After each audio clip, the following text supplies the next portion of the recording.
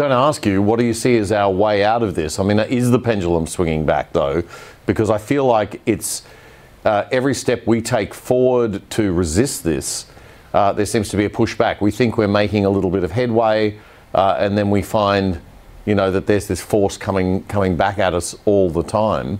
Um, this is far more structured, organised, and embedded, I think, than a lot of people realise. And the control of language is part of that. When you control the language, the linguistics, the the words that people use to make sense of reality and define reality for themselves, you are really playing with reality itself in a sense. And, and, and we see the emergence of words like cisgender to mean somebody who identifies with the biological gender that they're born with. That's a subtle and very, very clever, uh, almost diabolical kind of manipulation of thought and language, isn't it?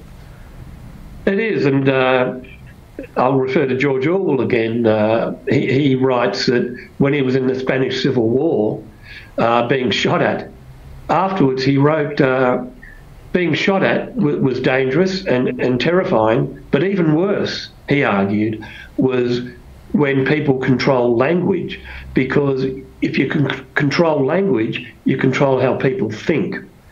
And, and that's the point that Lenin understood, that Stalin understood, mm. uh, that language in George Orwell, uh, Winston, his job in the Ministry of Truth is to lie about the past, to lie about uh, Big Brother, to present everything in the newspaper as positive. So if you can control the language, control the media, control the way people speak, what they read, then really you're more than halfway there than imposing your ideology.